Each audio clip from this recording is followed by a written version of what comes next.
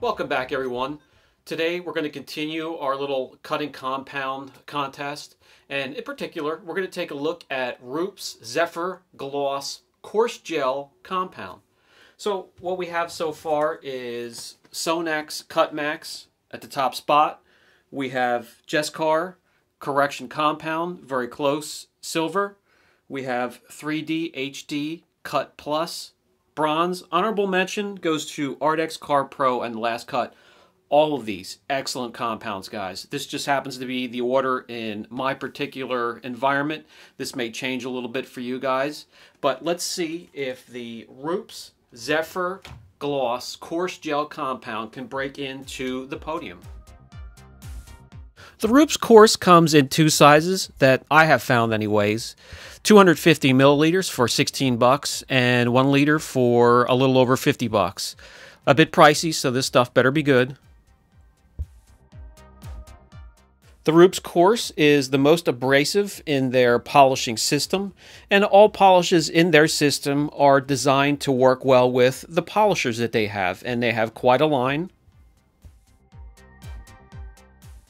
They put the formula together for high performance to achieve optimum results in very little time and with very little compound. We will put that through a little bit of a test today. I have five sections masked off with tape, and we're going to put some sanding marks in each one of those sections, starting with 500 grit, going all the way down to 800 grit. They usually run into failure at the 1000 grit section, and some, very few, start to fail at the 1500 mark already.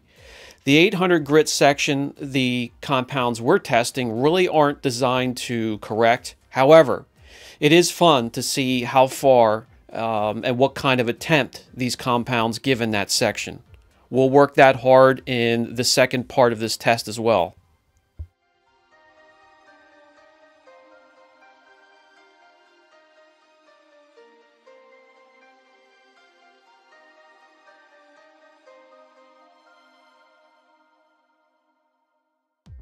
Okay, good enough. I'm going to clean off the moisture and the residue. I'm going to remove the masking tape and we'll move on with the testing.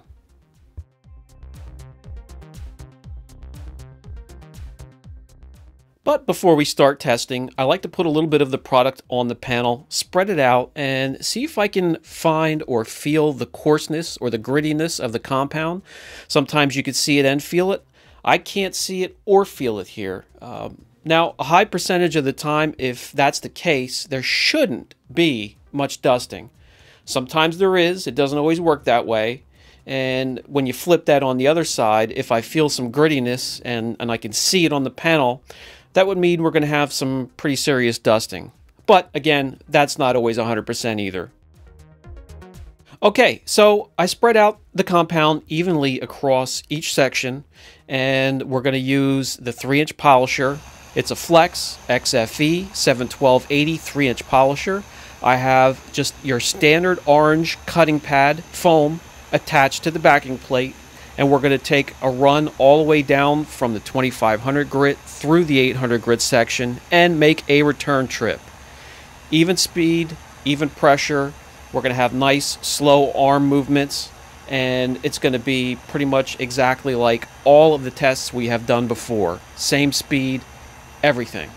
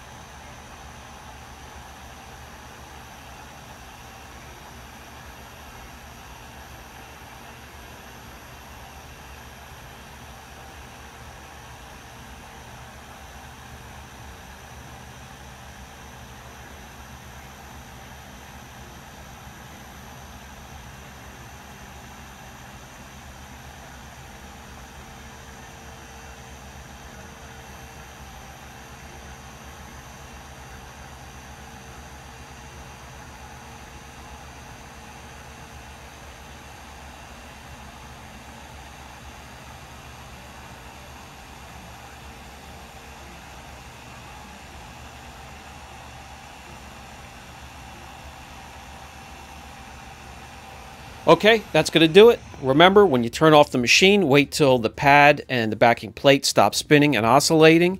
It's easier on your polisher and your pads. Give me a second. I'm going to grab the camera, bring you down in close, and we'll see how the Rupes coarse worked.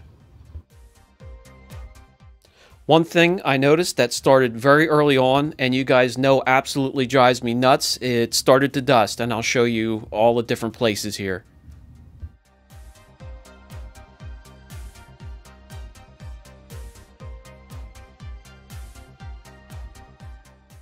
Okay, before we take a look at these sections, we want to wipe off the product, see how easy it is to wipe off residue. And it comes off rather quickly, rather easily, no effort. That's good.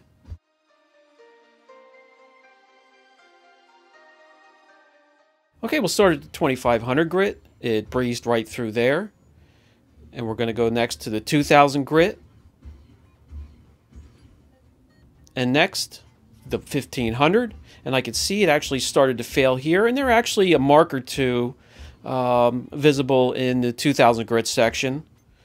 The 1000 grit really struggled. And the 800 grit, it uh, didn't do very much here. Uh, where some of them actually had a very good attempt. I'll get as many angles as I can so you can see how the Rupes coarse worked.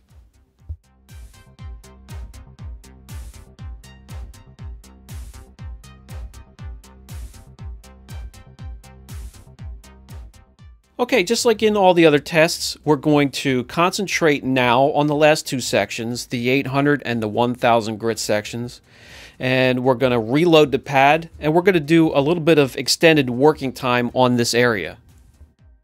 I'm looking at a couple things here. Uh, I want to see how long the cycle time or the op open time is for this compound. See how long we can work it until it turns into an oily film on the panel. I also want to see how bad the dusting can get which drives me crazy. Uh, I also want to see how hard it is to remove the residue that is left behind after we raise temperatures quite a bit. And then I also want to see after it's removed, has it done any work on those last two sections?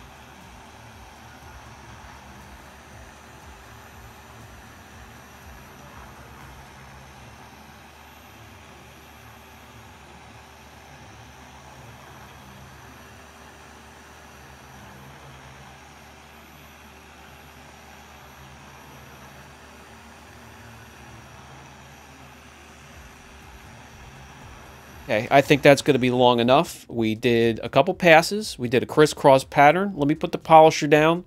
Give me a minute to grab the camera here and I'll bring you in close and see what we have.